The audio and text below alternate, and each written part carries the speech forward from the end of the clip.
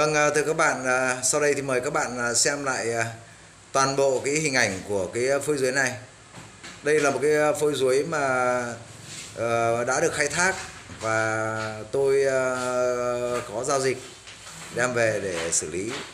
Và ngọn dưới này thì ờ, rơi vào đúng cái thời tiết rét buốt. Vậy thì cái vấn đề ở đây là đối với một cái phôi như thế này thì à, các bạn cũng à, sẽ thắc mắc là có sống hay không. Thế thì à, tôi sau khi cây về, về đến nhà thì bằng các cái đường chỉnh sửa nhựa của cây là rất khỏe. Và khi đó thì tôi khẳng định đó là cây sẽ ổn định và sẽ phát triển tốt. Đúng không ạ? Đây thì đây là những cái hình ảnh ban đầu của phôi thể hiện một cái quá trình liên lạc từ khi uh, là phôi uh, ươm ủ uh, sau đó là thành cây và hiện tại thì uh, cây nó phát như thế nào thì uh, sẽ mời uh, các bạn uh, tiếp tục theo dõi những cái hình ảnh chân thật nhất của cây hiện tại. Vâng, đây là những hình ảnh mà trên YouTube cây cảnh Phú Quảng đã thực hiện cách thức xử lý và ươm ủ phôi ruối. Hình ảnh các bạn đang xem là những bước thực hành, tiến hành, ủ và làm các công tác kỹ thuật để bảo đảm cho cây ruối được phát triển một cách tốt nhất theo đúng đặc điểm của loại cây này. Vậy, kết quả như thế nào? Mời các bạn cùng cây cảnh Phú Quảng tiếp tục kiểm tra sau một thời gian ươm mủ để cùng thấy được việc làm đúng và đủ các yếu tố kỹ thuật thì việc một phôi ruối sống phát triển là một điều hết sức bình thường, không có gì khó khăn cả. Mời à, các bạn à, cùng tôi sẽ tiến hành trực tiếp kiểm tra các à, phôi ruối đã được ươm mủ để xem sự phát triển của nó như thế nào. Xin mời các bạn.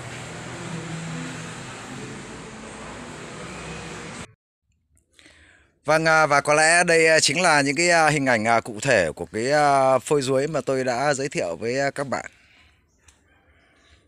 À, vâng, như tôi đã nói là toàn bộ những cái kết quả ươm mủ thì tôi cũng sẽ được trình bày với các bạn để thấy được rằng là cái à, phương pháp à, của chúng ta làm đúng và đúng với cái điều kiện khoa học về kỹ thuật thì à, cây phát triển rất là tốt.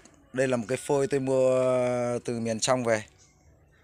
Ờ, các bạn có thể theo dõi các cái điểm mầm bật.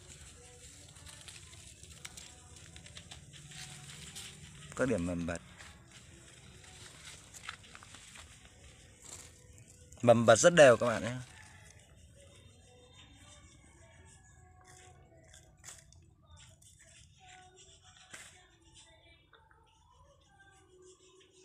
Vâng, như vậy để nói là bằng cái à, phương pháp à, dâm mủ như vậy thì à, chúng ta sẽ đạt được cái hiệu quả của mình.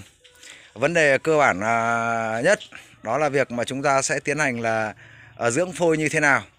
Thế thì vào cái thời tiết nó đẹp như này cho nên tôi mới dám đưa nó ra như này và sau đó thì đến khi thời tiết lạnh về thì chắc chắn là tôi cũng sẽ phải có một cái biện pháp nữa đó là chúng tôi sẽ tiến hành quây mi lông quây mi lông để tránh ờ, xương và tránh rét cho cây. Đây, là một cái ờ, cây ờ, vừa mới ươm mà khi ươm thì tôi cũng đã trình bày với các bạn. Điều đó để khẳng định là khi chúng ta xác định được cái sức mạnh của phôi thì chúng ta sẽ khẳng định được là phôi đó sống hay không sống. Và tôi nghĩ rằng những cái này khi chúng ta làm dần thì nó cũng sẽ quen thôi. Ở đây là một cái phôi ruối thứ nhất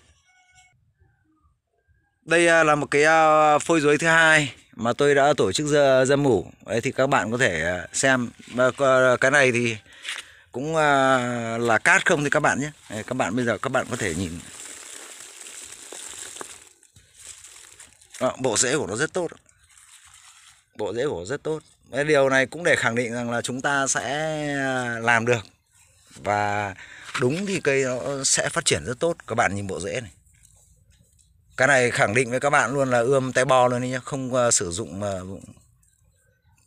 uh, kích rễ gì ạ. Đấy. thế thì uh, nhiều bạn sẽ hỏi bảo liệu uh, tôi uh, có chết cây nào không? Hoặc là có phôi nào chết không?